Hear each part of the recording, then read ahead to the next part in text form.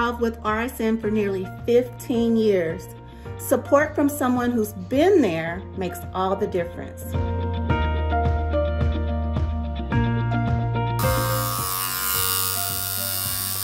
Hey David, what are you listening to? Kidney Talk, an online radio podcast that talks about kidney disease and the prevention of it.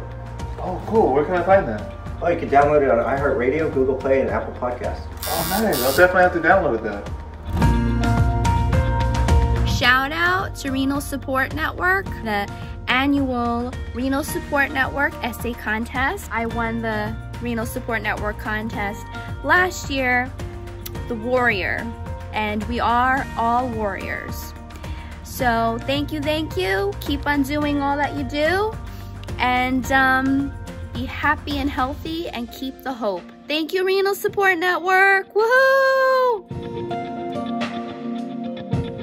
As a kidney transplant recipient, I find that having an actual publication like Kidney Talk is an invaluable resource for any kidney warrior at any stage. RSN keeps me informed of kidney advocacy issues so my voice can be heard.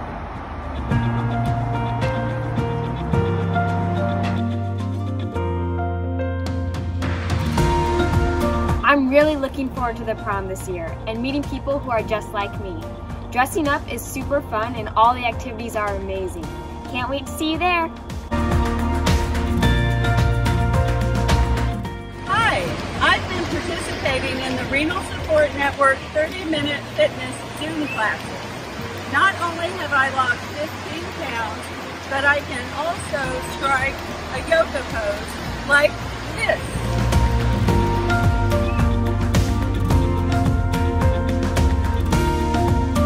When I created Renal Support Network back in 1993, I had no idea the impact that I would have among my peers. An illness is too demanding when you don't have hope, and peer support, education, and knowledge are crucial to our survival.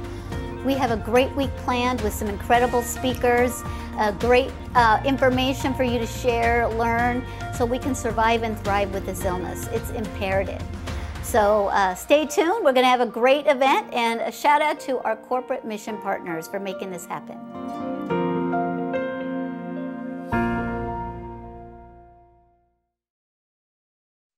Next, we have Dr. Dinesh Chatoth. Uh, doctor, I'm sorry if I'm pronouncing it incorrectly. Please correct me. Um, and is going to talk to us today about the ins and outs of home dialysis. So let me give you a little of his creds. He's currently supporting the evolution of home therapies at Fresenius Medical Care. He's the medical director for Fresenius Kidney Care Home Dialysis Unit in Lawrenceville, Georgia. And he's the former chairman of FMCNA's East Medical Advisory Board. So he is going to talk to us today, and I'm sure he's got a lot of information to give to us about home dialysis, which we've all been talking about a lot recently. Take it away, doctor. Well, thank you so much, Sasha. And let me see if I can technologically figure this out. I'm going to try to share my screen.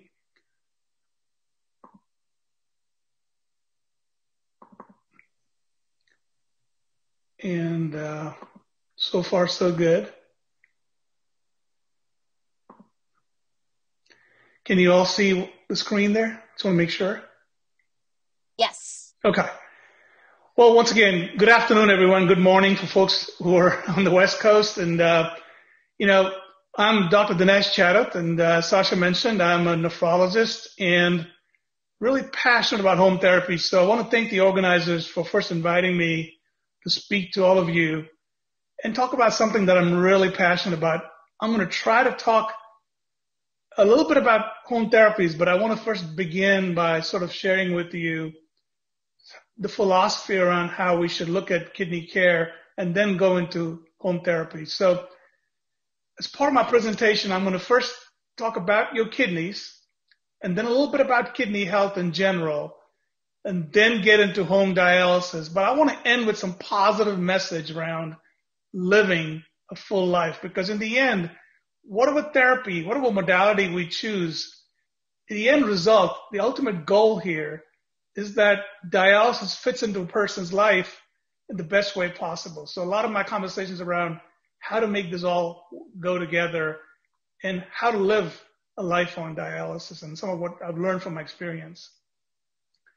So as, as a nephrologist, I um, was in practice for a very long time and before I joined Fresenius Kidney Care to really focus on home therapies.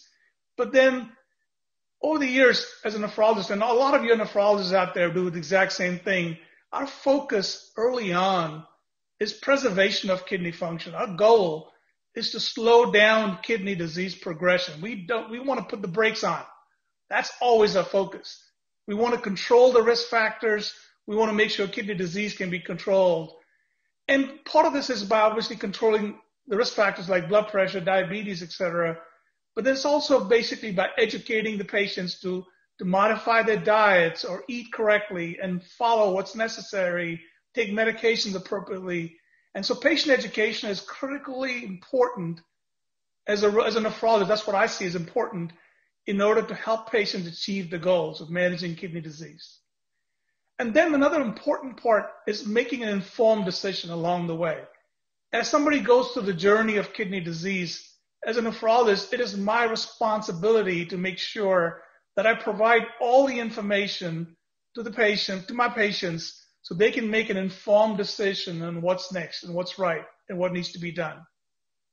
That becomes even more important as kidney disease progresses and there are some life changing decisions to be made about what is the best option for me?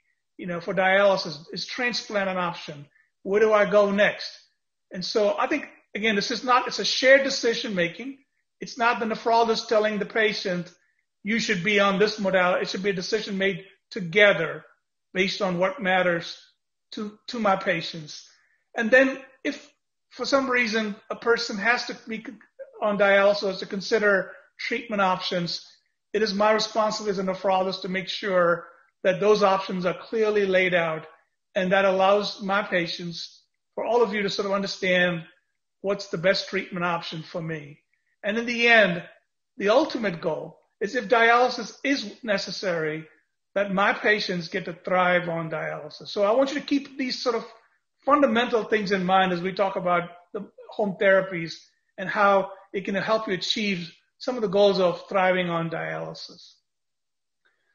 So I just want to share with you that the purpose of what we do as, as nephrologists is to help people live a life beyond their expectations. We want to make sure that everybody gets to enjoy life, just like Chris did, who is a home dialysis patient. Now, Chris, in this picture, as you can see, she's a lady who actually was diagnosed very suddenly with kidney failure. And with the help of her nephrologist and her nurses, she chose to do home dialysis. She chose to do peritoneal dialysis, which is also called PD. And I'll talk a little bit about that in detail in my subsequent slides. But what's amazing is that she did not think that she's going to spend the rest of her life just thinking about dialysis. This is a picture that Chris took while she was actually traveling. And when she went around, she traveled 5,600 miles around the country and did PD in her camper just because she wanted to be out there doing things. And what Chris said is not, is better than I could have ever, ever said, which is, I don't know if there's any limit to what I can achieve or do. So clearly that's the goal. The goal is for you to live your life to the fullest if dialysis is necessary.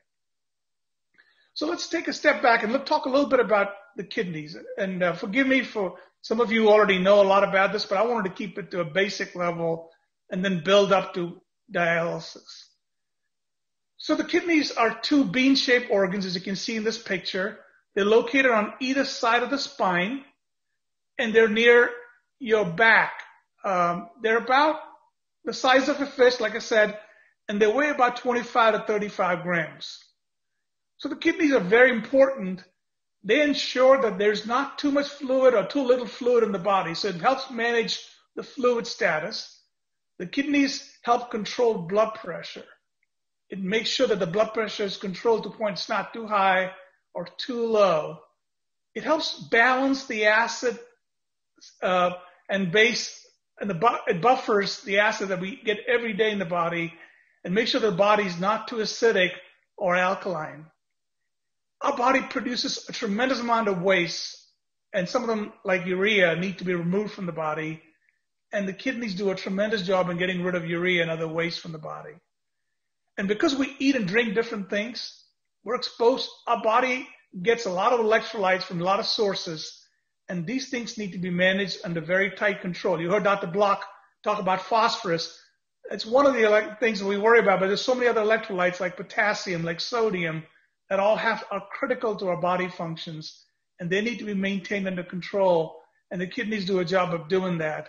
And then last but not least, the kidneys also release a hormone, erythropoietin, or some people call it EPO, that allows the bone marrow to produce red blood cells and allows us to keep our hemoglobin levels under control. So a small organ with a lot of work.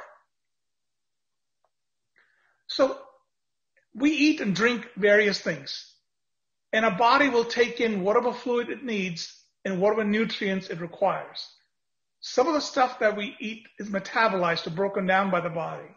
And all of this leads to production of waste matter that has to be removed from the body. And the kidneys basically work as a filter to get rid of all these wastes and excess amount of fluids and salt from the body. And the water and salt and everything else basically are, is what is urine. And the urine actually has dissolved electrolytes, salt, and other particles that is then removed from the body as waste. Why is this important? Because in folks who have kidney problems, you cannot get rid of these wastes. And so the waste, the toxins and excess fluids over time accumulate. And therefore you need some help filtering out these toxins from the body. And removal of these waste toxins and extra fluid from the body is exactly what dialysis is. And dialysis, again, it can be done in different ways, and I'm going to go into that in just a second.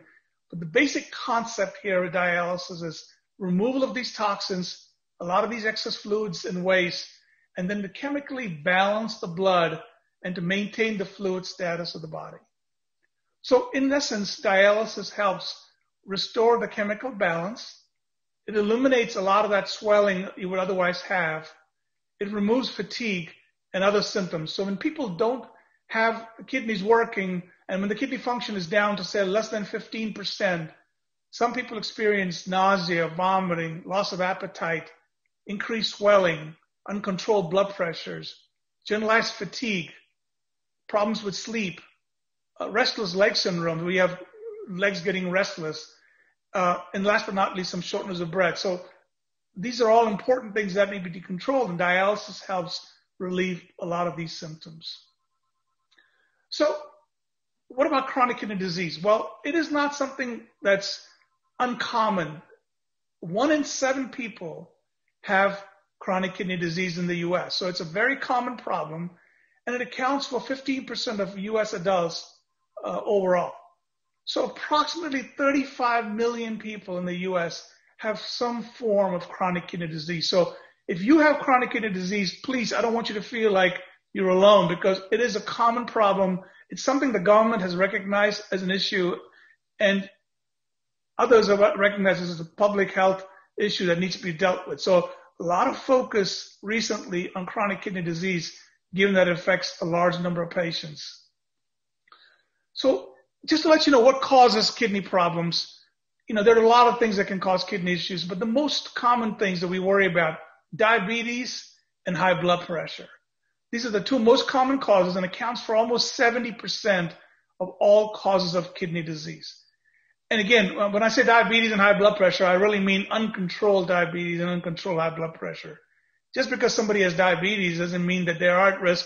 They just need to be controlling diabetes well. The same thing with blood pressure. So high blood pressure in itself, it is a risk factor, but controlled blood pressure can minimize the risk of developing kidney problems. The other things you think about are heart problems, circulation problems, a stroke, obesity, which is an epidemic in the U.S is another re- big problem that causes chronic kidney disease. A strong family history is something you need to think about. There are certain conditions that run in families that increases the risk of chronic kidney disease.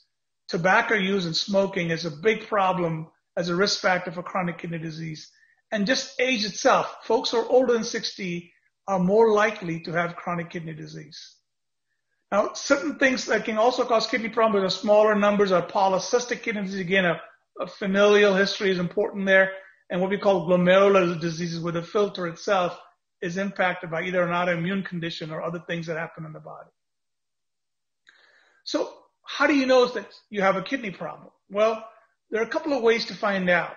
One is a blood test that allows you to understand what your creatinine level is. Creatinine is one of the toxins that a body produces that is removed through the kidneys. And so if the kidneys cannot get rid of creatinine, it's going to accumulate in the blood. A normal creatinine can average around 0.5 milligrams all the way up to about 1.2 milligrams. And it's a little lower in females compared to males. Now, this creatinine will increase as kidney function declines. And it's something that's important when you, when you talk to your primary care physician or you go for your medical visits or to your nephrologist to know what that creatinine level is and what that trend in creatinine level is. But another number that tells you about the kidney function is what we call the GFR or the glomerular filtration rate. And it's a lot of words there, but I want to make it very simple. It basically tells you the percentage the kidneys are working. So your GFR number tells you what is your percentage your kidneys are working at. And that is an important number to know because it tells you what stage the chronic kidney disease is in. And this is actually a chart I pulled up from the National Kidney Foundation that divides kidney disease into five different stages. So as you can see, a stage one is mild kidney damage with otherwise kidneys functioning fairly normally. And the GFR is greater than 90%, which means you, you've got a 90% or higher amount of kidney function. Now, if you belong to stage one, you probably don't even know that you have existing kidney disease because it's absolutely silent.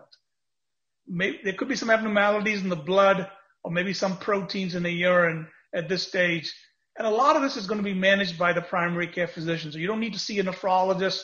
As long as a primary care physician is monitoring this, that should be sufficient. Now, stage two is when you have mild loss of kidney function. And now here the kidney function is between, say, 60 to, uh, to 90%. So that's the range for stage two. So there's a little bit more loss of function than stage one. Here again, most people are, don't have symptoms and most of this can be managed again by the primary care physician during your visits on a yearly basis or every six months. Now, where the nephrologist becomes important is stage three and beyond. And stage three has been divided into two subcategories, stage 3A and stage 3B, based on that GFR number I told you. So the stage 3A is basically 60, 45 to 60%, and stage 3B is 30 to 45%. So basically, uh, stage 3B is a little bit worse function than stage 3A is. So stage 3A is classified as mild to moderate loss of kidney function. Stage 3B is moderate to severe loss of kidney function. Folks who are in stage 3 need to be monitored by the nephrologist. Now the visits may be every three to four months, maybe every six months or so, depending whether you're on stage 3A or 3B. The primary emphasis in stage 3 is to manage your underlying risk factors, diabetes, high blood pressure, or other causes, and basically, you know, watch your diet, exercise, healthy lifestyle, and managing risk factors are the two things that's done that helps people slow down kidney disease progression. There are certain medications that we know of, like ACE inhibitors or angiotensin receptor blockers, or something that we call SGLT2 inhibitors. It's a new class of medicines that may all help put the brakes on, and it's something to, worth talking to your physicians about and what you can do to slow down kidney disease progression. Stage four and beyond is where you need to be really focused on preserving kidney function but also the phase of preparation. Because in this case, there's severe loss of kidney function. Kidneys are about 15 to 30%. And here's where you need to consider the option that if kidney function were to decrease further, dialysis or transplant may be necessary. So a lot of education around options, dialysis, transplant, what type of dialysis, all that is done during this stage and a lot of planning around vascular access, like placing a fistula or a graft, which I'll touch on just a moment, is all done in stage four. So having more education around modality options is a critical part of stage four. And one may see a physician every couple of months here, or a nephrologist every couple of months, because here there's a lot of planning, a lot of education, and a lot of strategy around what to do to control the kidney disease that has to be done in stage four. And in stage five, when kidney function is less than 15%, is when we think about stage where people may need dialysis uh, or definitely qualify for a kidney transplantation. So just to summarize what I told you in the previous slide, stage three, if you have stage three, you should make an appointment with your primary care doctor if you don't have one, and make sure your primary care doctor refers you to a kidney specialist. It is important to understand and educate yourself about what you can eat, how you can live a healthy lifestyle, how blood pressure needs to be controlled, how diabetes needs to be controlled, etc. You have to own your health, and that's going to help you through stage three. Stage four, like I said, is about getting is a preparation phase. So build your support network, choose an access type that may be good for you uh, based on the education you receive, and at least discuss possible treatment options with your doctor.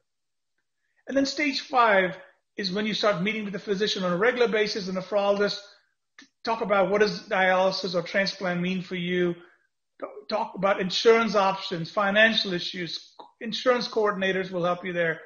And then don't forget, you still need to follow up with your PCP to, to manage other medical problems.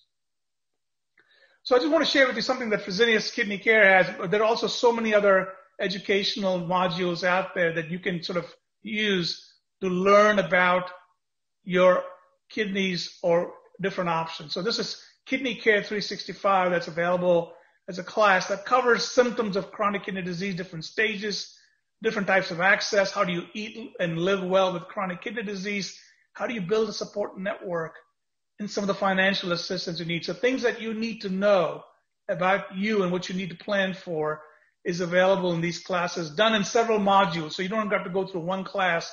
It's done in bits and pieces where you can understand, digest information, and use it to your advantage.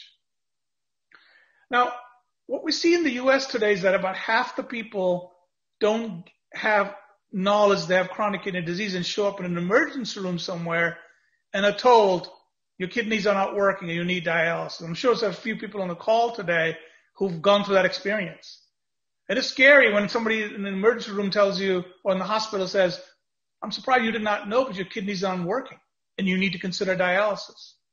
So the suddenness, what we call urgent start dialysis is such a problem because emotionally, most patients, I'm sure a lot of you may have felt the same way, aren't ready to have that conversation. It's sort of a lot of information given to you. You're not sure what's going on. You're not coping with that diagnosis.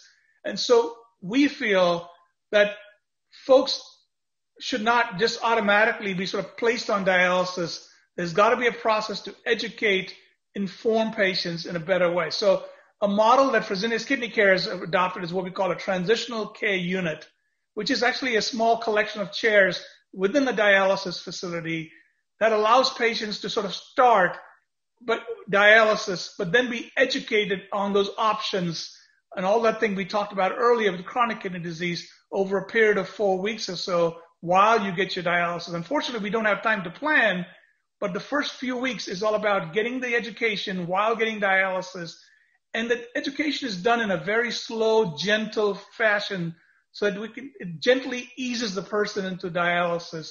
And it's done by a nurse, a, a care tech, a dietitian, a social worker. There's a support team that sort of gets you through this. It's not, and it's the same team every day. So you actually get ongoing attention. And overall, it's about four to five weeks you actually get dialysis using some of the home dialysis equipment, so you get to know a little bit about home hemodialysis. In the end, the ultimate goal is that somebody leaving the transitional care unit is well informed and make an informed decision about dialysis care and possibly transplant. So biggest thing I've gained from this, we have about, about 110 transitional care units right now. We're growing transitional care units across all our clinics in the, in the country. And in the end, what we want is we want to make sure that we provide the opportunity for patients to feel that they have no fear or anxiety about dialysis. That we want to make sure we're there to support them through that journey. In the end, make sure that they are candidates for transplant. So just sharing with you another approach, which is called the transitional care unit. So the treatment options that's available are transplant, dialysis, and supportive care. So when somebody needs, when the kidney function is in stage five, you need basically, you have 15% of kidney function. The best option is kidney transplant. And I would say the best option is what I call preemptive kidney transplant, where dialysis may not even be necessary, that the physician uh, sets the plan in motion, gets you to a transplant program, for refer, refers you there, the workup gets started, and ideally you would find a living donor who can then be available and you don't have to even go on a wait list. In some cases, you could get on a wait list even before you start dialysis so that you can accrue some time on, uh, and that way transplant becomes something that's available to you and dialysis just becomes a bridge to get you to transplant. From a dialysis standpoint, there are several options. At-home options include at-home peritoneal dialysis or PD or at-home hemodialysis or home HD. So these are two home dialysis options and an area where I'm going to spend a little bit of my time talking about. And the other option for people are in, is in-center dialysis, where you would go to a facility and you would dialyze in a facility three times a week. Uh, and then the, one option I want to point out is supportive care. Some folks may be elderly to a point where they feel like they don't think dialysis is necessary or may have other medical problems uh, that basically prevents them from doing dialysis. In those cases, we recommend supportive care so people can go through palliative care without having to go through dialysis uh, if they so choose to do so. But again, the most important thing I can share with you here is the decision has to be a decision made by the patient based on information provided, and it has to be something that is discussed with the nephrologist and the care team. So just to share with you some of the options here, if, I, if I'm a parent with dependent children or have a care partner who really is there for me to support my treatments, at home dialysis makes absolute sense. If I'm working or attending school, I want to free up my time so that dialysis doesn't come in the way of my, my life. And so at home dialysis becomes an option. If I need to travel or plan to travel a lot, you know, I have my, some of my patients who've been on cruises would take their PD equipment or other equipment with them. It's wonderful. You just saw a story of Chris, who's actually been around the country traveling and, and doing dialysis in a camper. That's the advantage. If, you, if those things matter to you, home therapy or home dialysis is an option. And if you want to be socially active and you want time to interact, again, at home dialysis makes sense. And then if you live further away from a clinic, if you live 40 minutes to an hour away from a dialysis clinic, and as, you, as some people do in, in, certain markets, going to dialysis, waiting for a treatment in, a, in a facility, and then coming back home takes a lot of your time from the day, and it may be better to have a plan to get it done at home. On the other hand, if you prefer that somebody else that performs your treatment, and there's nothing wrong with that, then in-center dialysis makes sense. And if you need help remembering or performing certain tasks, again, in-center dialysis becomes an option. If you want to be around people receiving treatment, and again, a lot of my patients, I remember telling me these stories like, I just love coming to a dialysis clinic because I get to interact with all of you. It's like a family that's a great environment, then again, in-center dialysis makes sense. And if you live in a home where there isn't enough space for equipment and supplies, because at home dialysis requires you to store some of these supplies, then again, in-center dialysis is an option. So I'm not saying that in-center dialysis is bad. There are different options based on shared decision making and informed decisions. In-center overnight nocturnal dialysis is an option for people who have to work during the day and want to free up the nights uh, to do dialysis, you can actually get to a clinic or a facility that does nocturnal dialysis and get those treatments. And obviously the ultimate goal is to get a kidney transplant, which frees you up from dialysis completely. So let's take a little deeper dive into home dialysis because that's really what I'm here to talk about. But I wanted to make sure I sort of set the stage for uh, for home dialysis. So what does home dialysis do? And like I said, I'm a big fan of home dialysis. That's what I I live and breathe home dialysis. I think it's the right therapy for a lot more people. In the U.S. today, it's only about 10% of patients who are on home therapies. It's gotten a little better now. It's about 12%, but I think at least 40, 35, 40% of this country should be on home dialysis. So a big opportunity is the way I see it. And the most important thing is independence, flexibility, and owning your own treatment. There's nothing better than being involved in your own treatments, being responsible for your care. Empowering the patient has better outcomes than anything else. And then the other thing is in-center dialysis is designed around a schedule. You have to go at a fixed time. You got you can only stay for a certain number of hours. More you cannot be on therapy more than three times a week. Being in a, at home gives you that flexibility. You could do a treatment early in the morning or late in the afternoon if you feel like that's better for you. You can do more than three treatments a week if that's the right treatment for you. So more frequent dialysis and all the benefits of more frequent hemodialysis is an option. You can reduce the number of hospitalizations because studies have shown that hospitalizations are lower if you were on more, more frequent dialysis than three times a week. It allows you to do your treatments at the privacy of your home, at the comfort of your home, sitting in a favorite couch, using your favorite blanket, having your pets next to you, having family near and loving folks next to you. So again, it's very important that those things are important, that's the advantage of home therapy. There's some studies showing that you may need less medications and you have more time to enjoy life because it frees you up to do things that you want to do. So you can see why I think home therapy offers you a lot.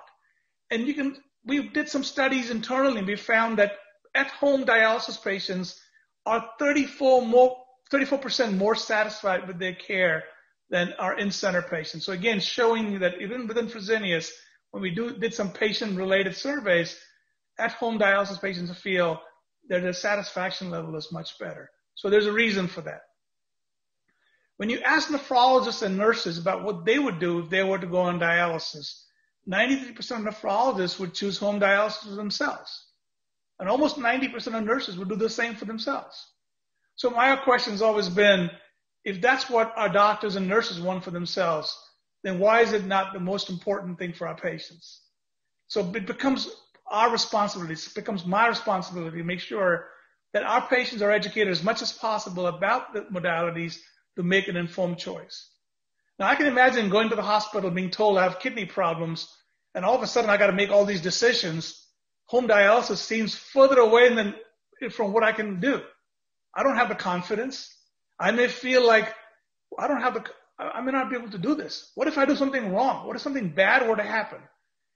I want to reassure you that with education and training, anybody or almost everybody can do home dialysis. So it's, you know, a, the fear is obviously natural, but it's the responsibility of the doctors and nurses to ensure the patients can do this therapy well at home.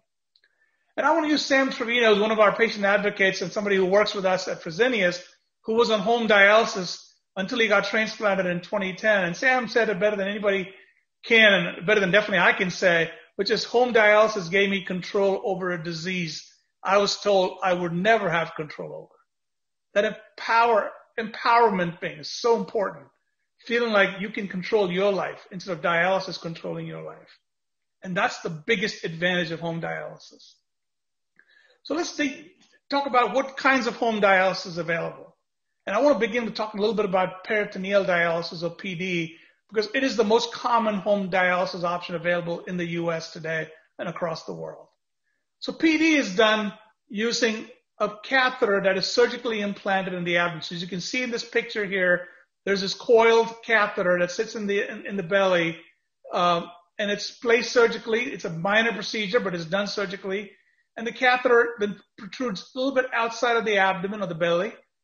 Now, through this catheter, you, you would put in a solution, back solution that contains clear fluid, what we call the dialysate fluid, and that fluid is then filled into the abdomen, and that process takes about 15 minutes or so. Once the fluid is filled, you can disconnect this tube, and if you're on a machine at night, the machine will do the treatments. Otherwise, you would just disconnect, and then over the next several hours, the toxins from the blood will then move from the blood into that fluid, and then so that waste products are removed from the body through the blood into that fluid. So what you see here in this little magnified view here is actually the peritoneal membrane, which is the body's own membrane that does the dialysis for you. So there is no blood here. There are no needles. Really the membrane, the fluid sits in the, in the belly, the membrane, and these are blood vessels in these circles you see here in the bottom part here. And the blood toxins from the blood will move across into the into the fluid, and over time it gets saturated. And three to four hours later, you would then open up the tube, you would drain it out onto another drain bag, and then it's time to do the next exchange. And that's basically how PD is done. Now, it is done in your home. It can be done by yourself. You don't need a care partner if you don't have one. But if you have a care partner, it's always good to have somebody help you out. Like I said, there's, there are no needles. The fluid is either placed manually, so you don't have to have a machine or even, you know, you could do this anywhere. You could do this in a camper. You could, I, I don't recommend doing this in your cars because obviously there's space limitation. But if you have a camper or some way you can do this treatment, it has to be a clean space and maintain that way to minimize risk of infection. And we train, our nurses will train you how to do this.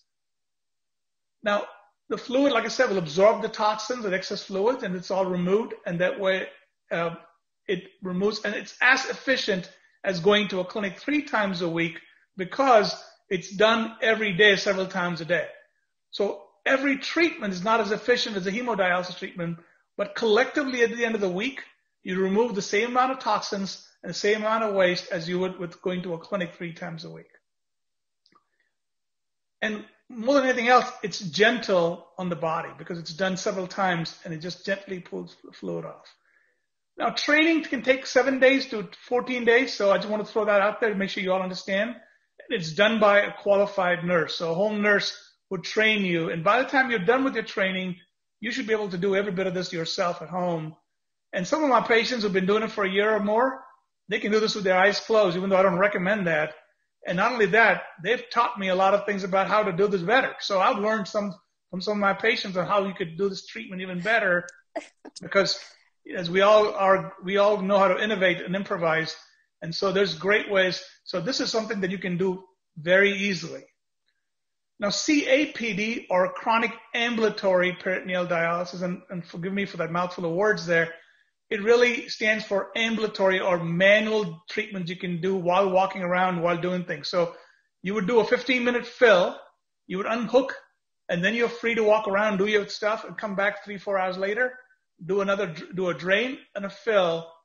And that, so, so the basically you would just sort of, you would have to come back every few hours to do an exchange. But in between the exchanges, you're not hooked to anything. You're not tethered to anything. And you're basically free to do this uh, uh, and, and there's no fixed, but it's a fixed time. You don't have to do it in a, in a window of five minutes. You could be 10 minutes here, 10 minutes there, but it, you got to still come back and do those treatments. So typically it's morning, lunch, late afternoon, and then at bedtime overnight. Um, and the fluid sits around there. But again, we recommend this for all patients, whether you do it manually or do it using a machine. And I'll touch on machine in just a second because we've seen emergencies and we've had more natural emergencies in the last year than ever before. We want to make sure that during emergencies, a power outage is something that you're equipped to actually know how to do a manual exchange if necessary. Now, the thing that you hear about more in the U.S. than anywhere else in the world is cycler dialysis or chronic cycling peritoneal dialysis known as CCPD. As the picture shows you here, it's typically done at night. It's using a machine, as you can see here. And the machine, what it does is sort of does the treatments for you. So it fills the belly, keeps the fluid there, drains it out, and this fill, drain, fill, drain cycles will continue several times. And it typically is done for about nine hours overnight. The good news, it frees you up during the day for other activities, although sometimes some folks may have to do some day exchanges too. Uh, and if you have to do it during the day, it's less number of exchanges during the day and more done to utilize your night and basically sits on a nightstand like you can see here. Uh, you do have drain lines that could be up to 21 feet in length, so you can actually read, sleep, go to bed, watch TV in the room, but you have to be attached to the machine. So a little, little limitation here is your the machine does the treatments, it stores information about your treatments, but it frees you up from having to, to break away from things during the day to do those manual exchanges. So there's pros and cons to both, but in the end, it depends on your preference because both therapies pretty much do the same thing, which is PD. So if you want to do PD at home by yourself, you, you, you can do it with a care partner. I said training is one to two weeks. You'll have to find a place to store, excuse me, some of the medications, the tubings, the supplies, the bags, and the nurse will help you how to organize some of these things, at least tell you how to do it.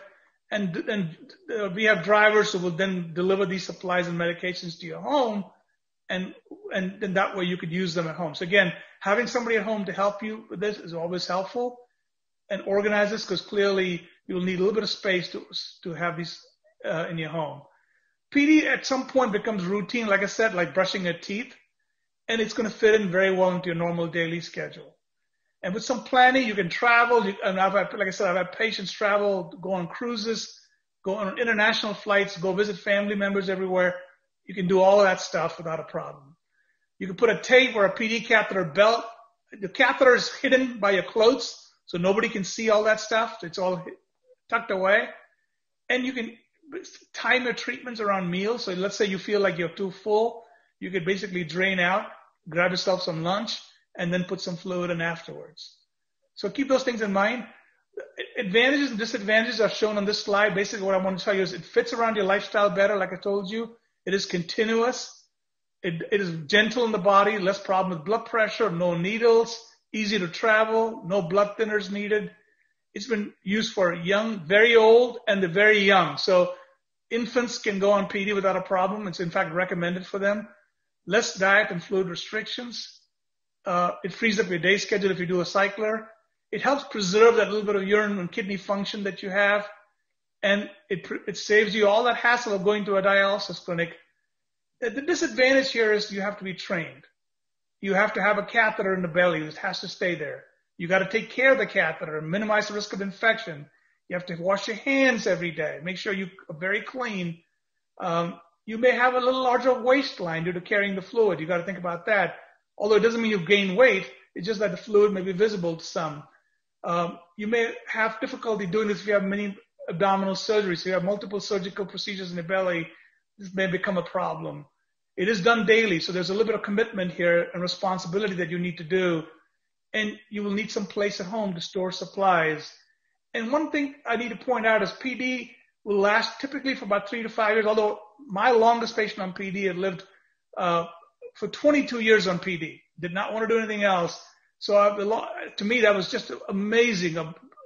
I'm so blessed to have known this gentleman who eventually said after 22 years, he just thought he had, he wanted to, he wanted to go to comfort care, but he did for 22 years, did PD and did well. And he was in his late 80s when he decided that he did not want to continue any further. Uh, but it was amazing to see people do it that long. I'm to, I know I'm to run out of time here, but I'm going to spend a few minutes talking about home hemodialysis. And home hemodialysis is where you, you basically clean the blood of toxins. So this is different from PD. You don't put any fluid in the belly. And as you can see in this cartoon, blood leaves the body through an access called a fistula or a graft. And it goes into this machine. And this is a picture of, of a NxStage home hemodialysis machine. Um, so the blood goes in there. It goes into this filter. Uh, in the filter, the, the, the blood with toxins is exchanged against the dialysate. So a lot of the toxins from the blood will go into this dialysate, which is in yellow here, and then go that is drained into a waste basket or or container, and then the clean blood and blue is returned back to the body. So basically, the whole concept here is to clean the blood, filter, and then uh, filter the blood as opposed to PD. Home hemodialysis uh, is done typically uh, you know, four, I would say five to six times a week. The typical treatment is about three hours per session. Um, it can be done at night at home too. We have home nocturnal, and those sessions can be as long as eight hours. Uh, you could also take a home hemodialysis machine that you have in a clinic and do it three times a week, although those machines are large and bulky and may not be as easy to operate as some of the new machines, especially the NxStage machine. Um, so those are all options available to you. Uh, you would you can do home hemodialysis without a care partner. We call it solo home hemodialysis. But to me, the having a care partner support you in this journey is the most important thing. And to me, uh, having a care partner makes this even better. So as you can see in this picture, this is a patient whose wife really is the care partner uh, to provide the support for this patient. Training takes about four to six weeks typically. You will need to make some modifications in some cases to your water electrical systems. If you live in an apartment, think you may need to reach out to your landlord to make sure that you have the right to modify some of the things. And you also need some supplies stored. So space for storage is going to be important. So talk about access. You know, there's uh, AV fistula, as you see in the top right panel here, which the body's own material is hooked up together to create a fistula. And that allows the vein, as you can see here, to, to thicken and mature so that can be used repeatedly for dialysis. So you would put a needle in here and that can be used to do, to pull the blood from the body and to return the blood. When you use a synthetic graft, a plastic material, uh, it's called a graft. It's a little loop you can see here in the arm. So this is typically used when you don't have blood vessels that can be used to create a fistula. And in some cases, we have this thing called a catheter, which is a, a, a plastic tubing that goes from the chest into a large vein and almost close to your heart that allows you to pull the blood through this catheter to go through the hemodialysis machine. Catheters are good for temporary care, but I don't recommend long term because of significant side effects on catheters. So catheters will not prevent you from doing home hemodialysis, but although if you use a catheter, keep in mind you have to have a strategy and a plan to get it removed and to have a, per, a permanent AV fistula or graft created. So I want to point out that you can definitely, uh, one of the biggest things we see as a challenge is the fear of self cannulation. Most of my patients always said, I don't think I can ever put a needle in my arm. It's not going to work. But I want you to tell you that if you want to do home hemodialysis, it's normal to be fearful of needles. But your nurse will help you and your physician will help you get rid of that fear. Some of my patients who said they would ever, never ever use a needle to cannulate themselves not only do well, they will not let anybody else go anywhere near them to put a needle in their arm. So basically they feel like they're the only ones who are capable of doing it. And to me, that's what we hear again and again. So needle phobia should not be a fear. We should make sure we can fix that with some education and training on self-cannulation. The advantage again is home therapy, so it fits into your life. You can travel, you can, it's much better tolerated. Your blood pressure drops are less. You can gain independence. It's really good for fluid and for diet. Sleep patterns are better with more frequent dialysis. Your heart and the circulation is much better if you do more frequent dialysis five to six times a week. And you can get to spend more time with your loved ones. The disadvantage, you need supplies and storage issues. It can be stressful on the family. Um, you will need to learn how to stick the needle into your fistula or use needles. And you'll have to monitor your treatments at home. And you need to be watchful of risk of infection because anytime you use needles or have a catheter in the neck, there's a risk of infection and you need to be aware of those things. I want to point out in the next couple of slides, I'm going to end in the next two or three minutes here. Um, connected health. I mean, everybody has a cell phone now. Everybody has a smartphone. And there's so much we can do with technology that allows us to sort of connect our patients to our team as well as our nephrologists. During COVID, if there's anything we've gained, and that is that digital technology has really helped move things, right? You must have had a visit with your physician or your nurse using telehealth. It was unheard of even a couple of years ago, but now machine information can be sent to the nurse. Your own treatment information through a tablet or a phone can be sent to the nurse.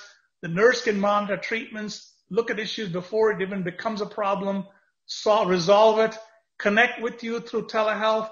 So you're going to see a lot of that stuff. What I just show you are some of what Fresenius has in place that addresses it. But again, every provider has these technologies available for you to actually allow you to experience home therapy better and feel connected and confident that you can do this yourself.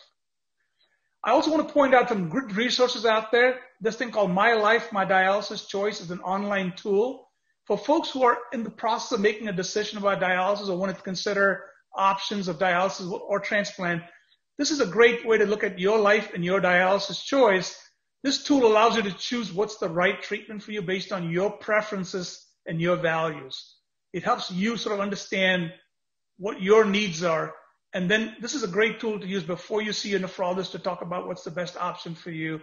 And the other resource that I always point out is the National Kidney Foundation that has so many features like the Ask the Doctor feature, other supports with peer mentoring, which allows you to talk to other patients who have similar issues who can then guide you through the process. And I want to end with a slide that basically talks about home therapy and the real benefits. Why do I feel so passionate about home therapy? It allows my patients to pursue a full life. You can enjoy life to the fullest. Dialysis should not become an impediment to enjoying your life. You can continue your passions. Do what matters to you. Spend time with the grandkids, with your near and uh, dear ones. Stay connected to people that matter to you. Reach and set your goals so you can achieve those goals without a problem. And last but not least, you can commit to your treatment. What it requires is you to be understanding, knowledgeable, and committed to getting your treatments done. And then savor the moment in the end. So I'm going to end with a slide that sort of defines what I think is absolutely the way you should look at life. Kidney disease isn't going to define you. You define it. And just like Chris or Sam that you heard talk, you heard about the stories I just told you, these are folks who didn't let the diagnosis of advanced kidney disease stop them from living their lives. Uh, they actually have moved on and continue to uh, enjoy life to the fullest. So I'm going to stop there and see if there's any questions, and I apologize for going over.